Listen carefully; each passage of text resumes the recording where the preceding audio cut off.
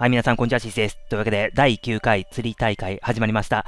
でね、今回はね、取り急ぎ、重要なこと2点だけお伝えしようかなと思います。1つ目は、金の釣り竿が必要なのか。2つ目は、今回の、えー、重要変更点があるんで、それね、見逃してる人多分多いと思うんですよ、そこ。今回の目玉商品は、粒豆の雪だるま。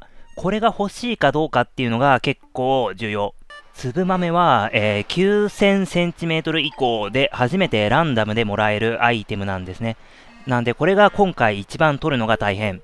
で、こいつ、こいつが欲しいのであれば、金の釣り竿、絶対に借りるべきです。というのもね、今回、釣れる魚のサイズがかなり小さい。前回は金のマグロとか、えー、大盤振る舞いだったじゃないですか。あれは通常釣り竿でもいけたんですけども、今回はね、魚のサイズちっちゃいんですよ。なので、金の釣り竿を借りておいた方がいいです。で、借りておいた方がいい理由、その2。これはね、重要変更点の話でもある。ここね、ちゃんと皆さん読み飛ばしてないですかね。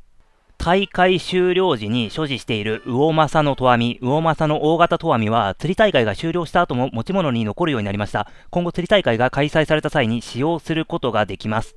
なんとね、トアミを持ち越せるんですよ。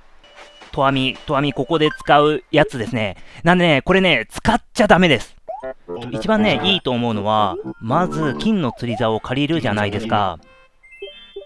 必ず2匹釣れる。ちょっとね、80リーフチケットと高いんですけども、まあ仕方がない。アイテムコンプしたいので借りましょう。で、金の釣り竿を借りると、まあ2匹ずつ釣れるから、多分結構余裕があるんですよ。甘エビ2匹。ちっちゃいな24センチ。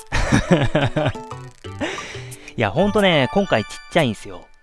で、とわみの方は使わないでおいて、で、イベント終盤、イベント最終日に、えー、欲しいアイテム、まだ取れてなかったら、そこでとわみを投入する。もし最終日までに十分アイテムが取れてる場合は、そのとわみは使わないで取っておくことで、次回、イベント、釣りイベントの時に使うことができる。というわけで今回は金の釣り竿を借りた方がいいですよっていう話と、とわみは使わないで取っておきましょう。そして使うのであれば最後の調整用。というわけで最近サボり気味ですが、今後も攻略情報、裏技情報などをね、発信していこうかと思いますので、いいなと思ってくださった方は高評価、チャンネル登録お願いいたします。